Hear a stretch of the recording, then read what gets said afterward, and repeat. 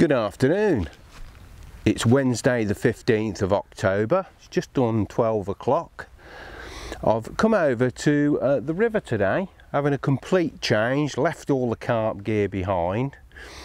All I've got with me is a short 11 foot rod, centre pin reel, some floats, uh, some four pound line straight through. And I'm going to have a few hours um, afternoon chub and roach fishing. I've been dying to get over the river um, since last year, but I wasn't able to because I couldn't manage the banks. Uh, we've had a little bit of rain um, over recent weeks, as you know,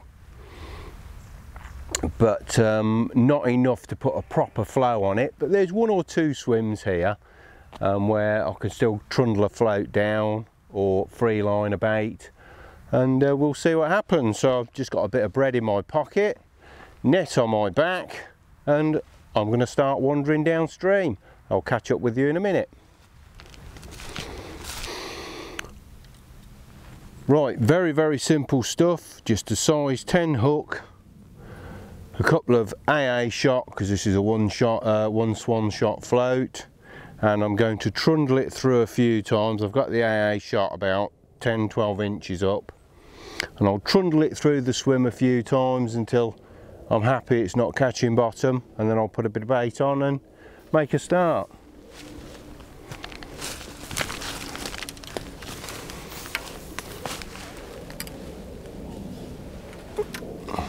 As you can see, it's a little bit of a jungle.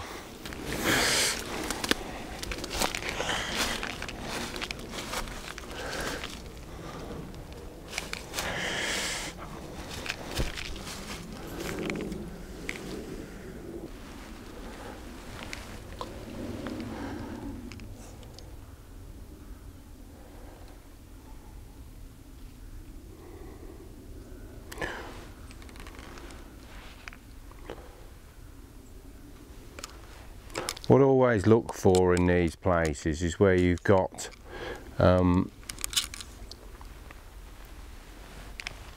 some water, fast water coming off of the shallows and then running into the deep water.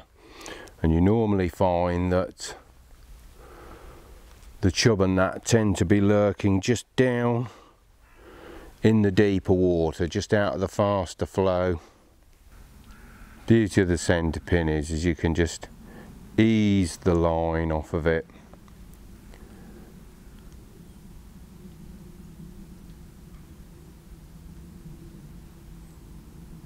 Stop it, hold it back, let it run through.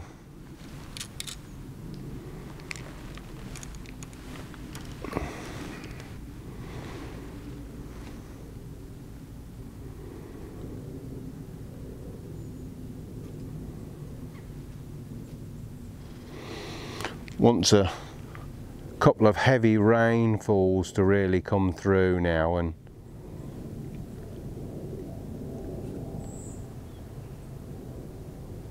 wash some of these reeds and some of this weed away from here.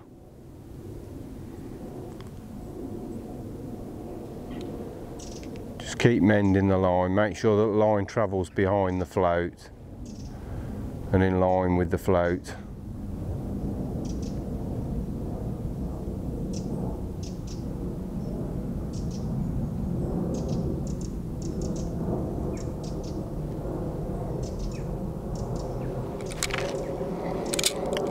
That up a little bit more.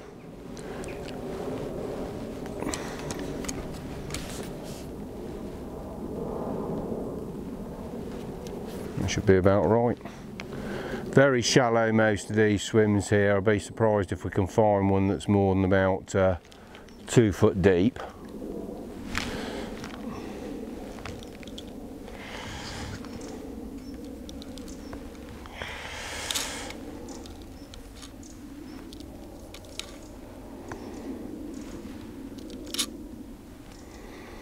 That's better.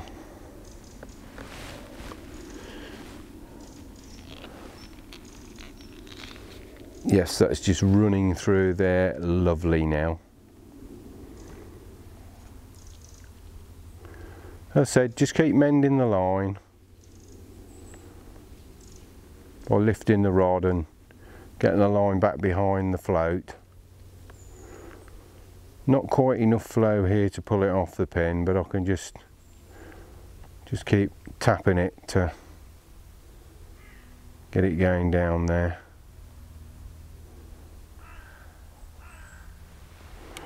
Right, we'll try it with a bit of bait on.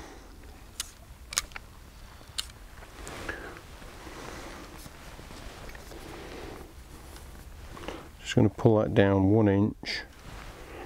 That's about right.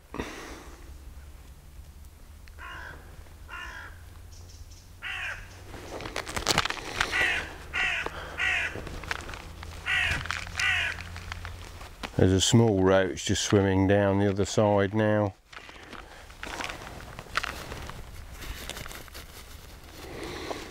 What I do, I keep my slices of bread in um,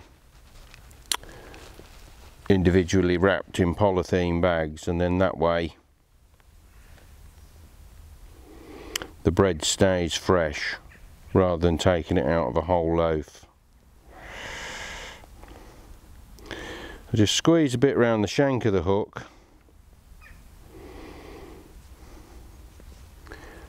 Leaving the point exposed. Throw that free offering in.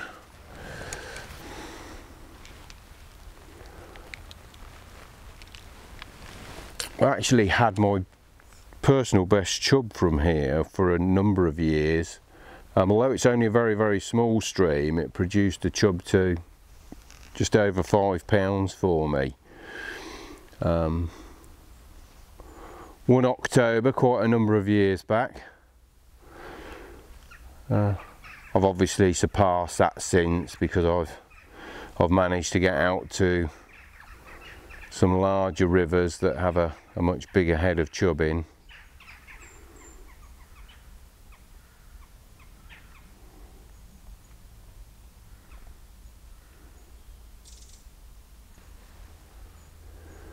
If I was quiver tipping on here, which I will do a little bit later on in the season when we've had a bit more rain and uh, we've got a bit more depth on it, goes to about three feet at an average. And quiver tipping often pays off. I'll walk down each swim first and what I'll actually do is I'll bait up each swim, I'll walk the length of it and then walk back and fish various swims. But when I'm tending to float fish, I don't do that. I don't find it's particularly necessary and quite often the first um, trundle down with the float is usually the the one that produces the fish quite often.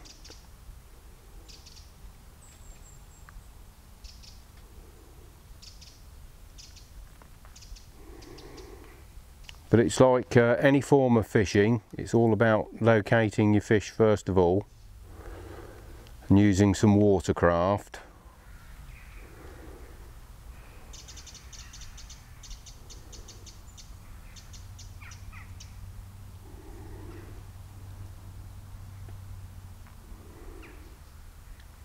And uh, places like this are good to come to because quite often the water's that shallow you can actually see um,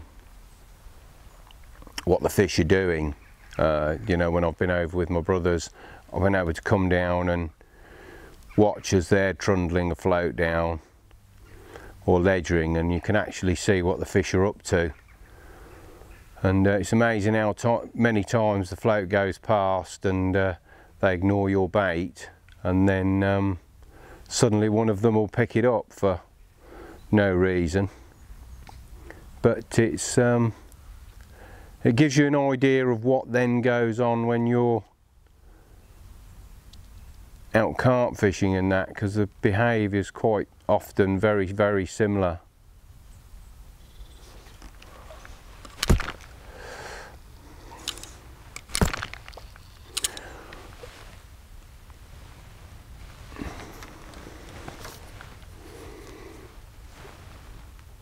just rebait that hook one moment.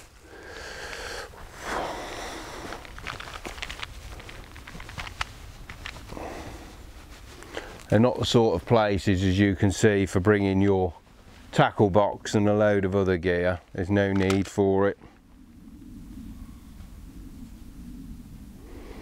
It is just literally, while it's like this, roving from swim to swim.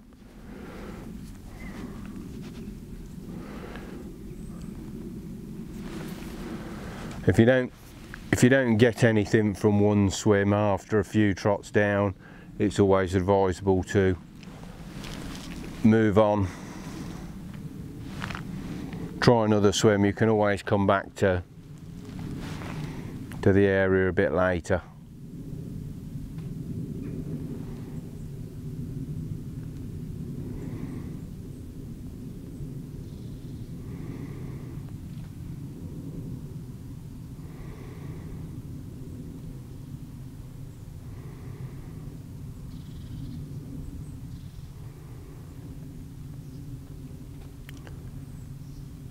I said, just keep mending that line so you get the float to go through where you want it to, get it to follow the path of the current. Always try to get mine to, rather than being the, the main flow, just running down the crease uh, between the current and the main flow. That's where I find quite often an awful lot of fish tend to hold and you'll always find that there's one particular spot in the swim that the float tends to get to uh, which produces the bite.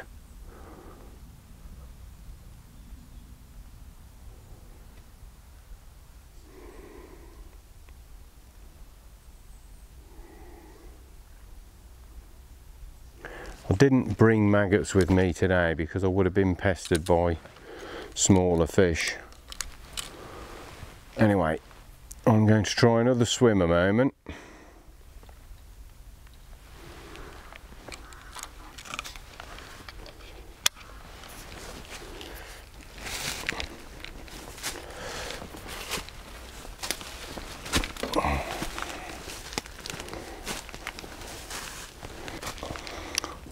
I found a nice little trot through here. There's a, a nice belt of the faster water coming down and I've got quite a nice rundown here of um, probably about 15 20 yards which is good for a stretch of river like this.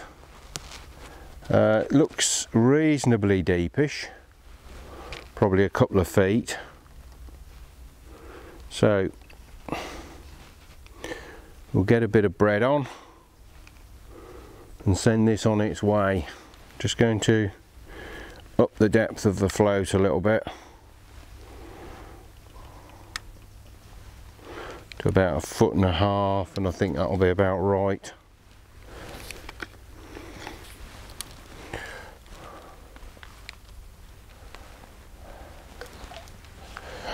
I've been using a, a centre pin reel since I was mm,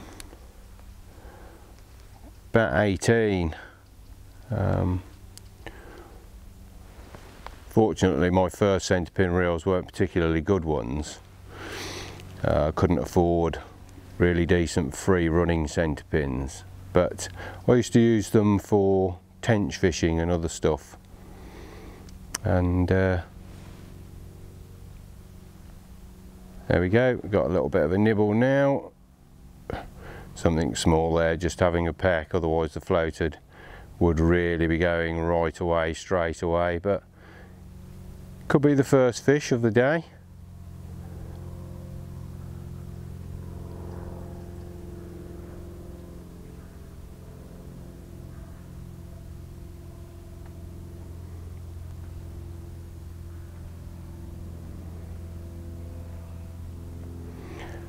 As I was saying, I used to use them for um, close-in tench fishing and They're really good. You get an awful lot of control with a centre pin reel, but on the river, providing you haven't got a cast too far across the river, they're absolutely superb and they're just ideal for places like this, where you've got um, fish that are trying to make dashes for freedom at close quarters and it's amazing how over the past few years they sort of picked up in popularity I suppose. Um, that was thanks to people like John Wilson um, Bob James Chris Yates. But uh, and and of course they really have picked up as regards being popular with people.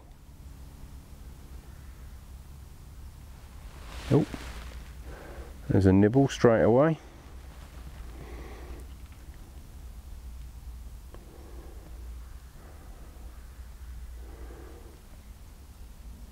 I know I've uh, I've fished this river before um, on a number of occasions when it's got a bit more depth on it and I've uh,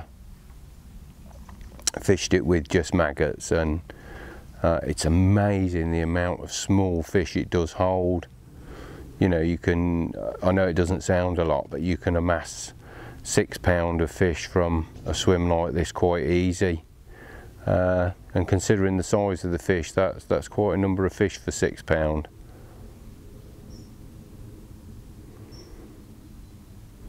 But as always, what you tend to get like now is you tend to get the, the smaller fish at the head of the swim. And then you tend to get the, the larger fish much, much further down. Try a much larger piece.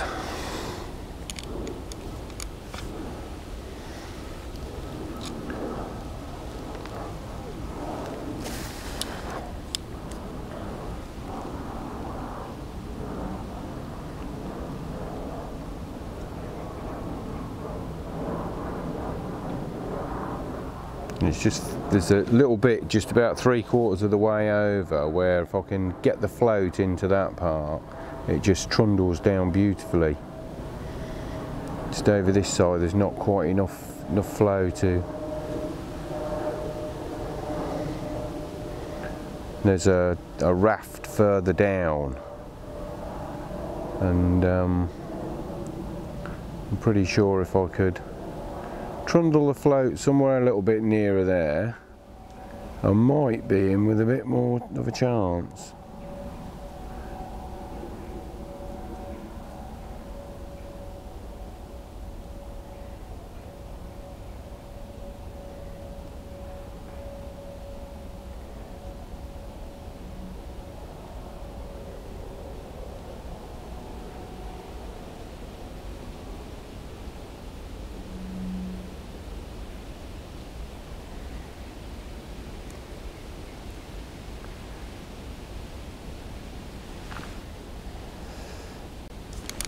Ah, here we are. At last, and it's a good one as well. Yes. Oh.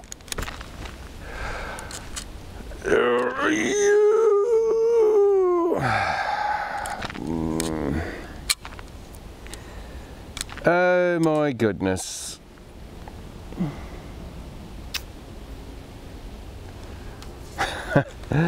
right down where I said and uh, well, the hook's plenty sharp. It was a decent fish and all. And I'm, I'm not just saying that. I mean I've been having pecks and nibbles from small stuff. That was actually a decent sized chub what I've, I've actually been waiting for. And uh, no mistake in it. A couple of little dots on the float and right away. Never mind. Keep trying.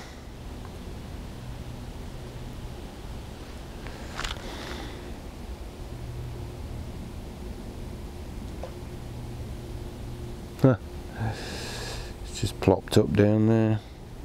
Right, let's try another another decent sized piece. Make sure that point isn't masked give it another go come on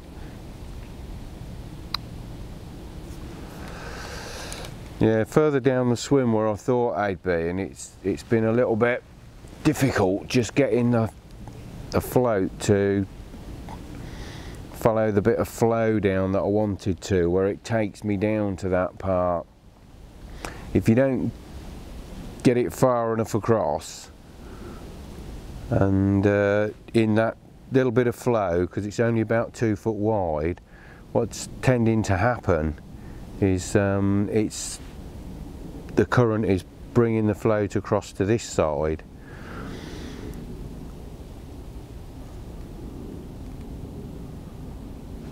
And it's just not not trotting down where I want it to.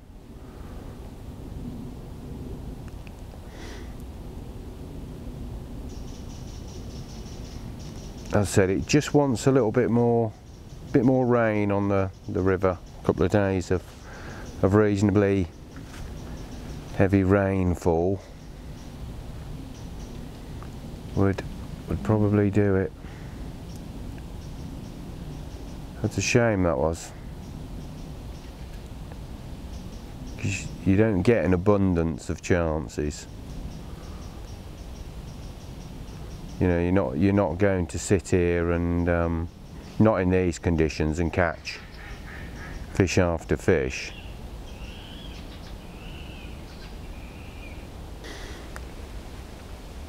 although there's another little river just across from here that I used to fish called the River Itchen it's not to be confused with the River Itchen for trout fishing. It's just it's it's probably not even as wide as this and it used to be on the Coventry ah here we are the Coventry Angling Club book. This one isn't a big one talk about from the oh well there you go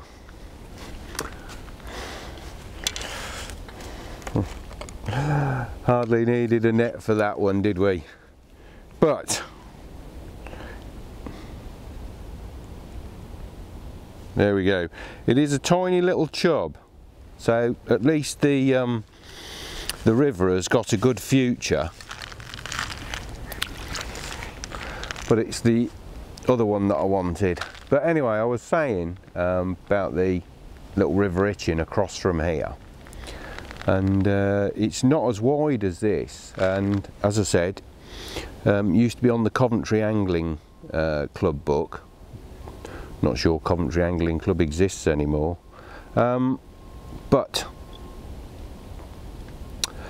in the right conditions uh, it was actually possible um, when you'd got enough water on the river to perhaps catch um, 50 pound of chub and I'm talking about chub only two three pound in size you could actually catch about 50 pound of chub. Um,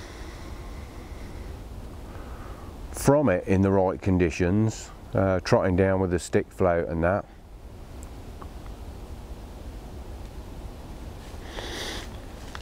and um, the Angling Times actually did an article on it once for Coventry. They went there, and I, I think it was the article, if I remember rightly, was um, itching to get at those chub. Is how it was titled, and it was a centre page feature in the uh, Angling Times.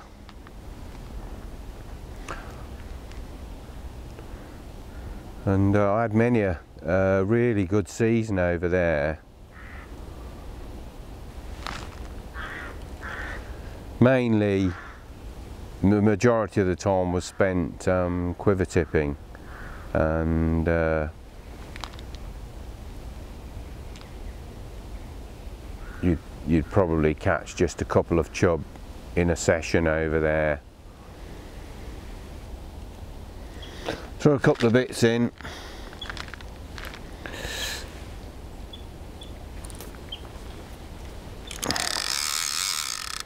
go and have a look elsewhere.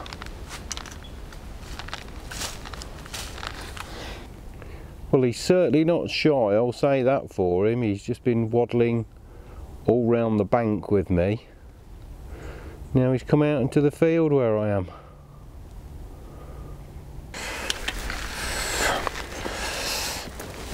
Right, I've just tramped the bank down. And nettles are up as you can see about here. Just to get through to here uh, there's a little shallow over here that's just running into some deeper water. I've, I've fished this swim before. Um, I've had some fish from here. I don't think there's enough flow on here at the moment to uh, get the float to go down properly but we'll give it a shot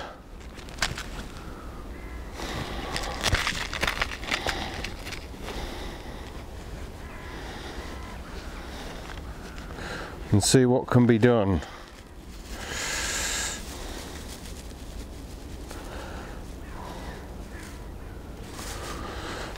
Put a good chunk on because I might only get one chance at this.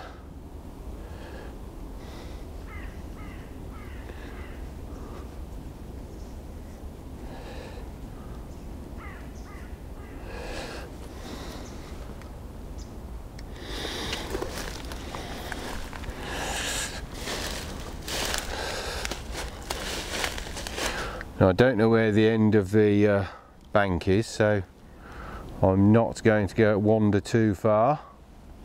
Ah, nearly in the tree. Try again, a bit lower. Just flick that under there into the flow.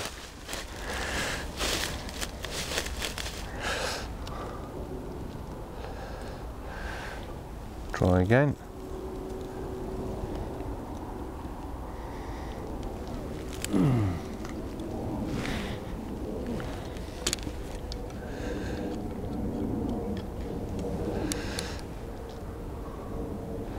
Well, it's trundling down. Might not be on the right depth in that yet. As I said, I'm not going too far, just in case. This swim certainly hasn't been fished for a good while, I can tell that.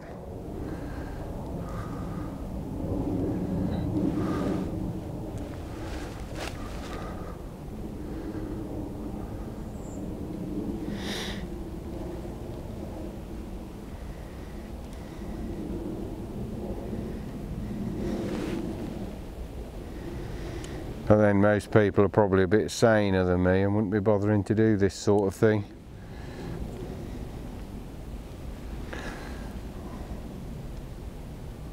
There's a nibble. Small stuff again. I think I will have to come back with maggots. a bit of a bit of a go.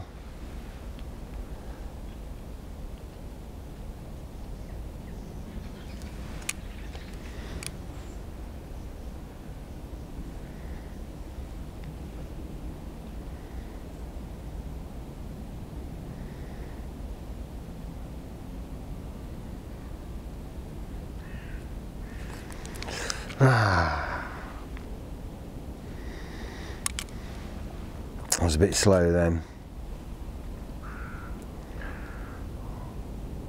That's putting it mildly.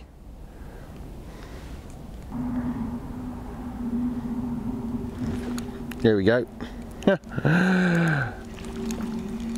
Not a monster, but one nevertheless.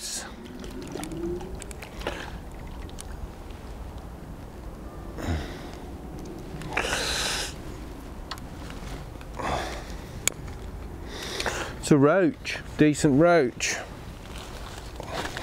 Oh, that's tricky.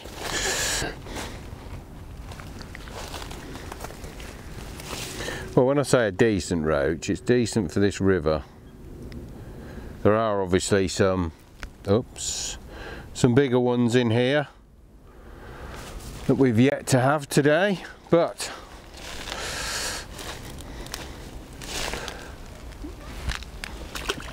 It is a fish nonetheless. Oh, there's a nibble.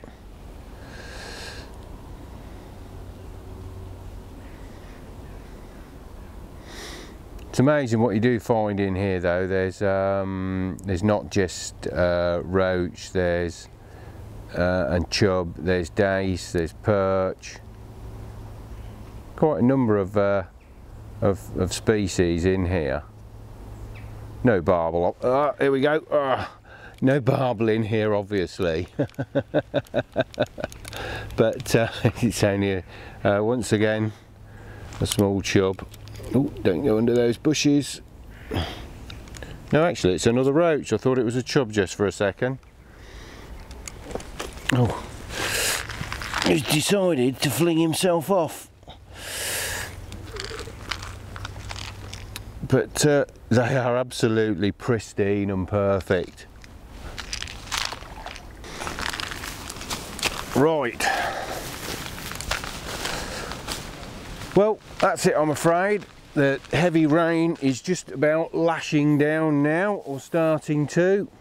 I've just lost uh, my float by hooking the other side. I've got other floats in my pocket, but um, I'm going to make a run for it because I can see it driving right across there and in a moment it's going to soak my camera. So once again, thank you very much for watching and I wish you all the best with your angling.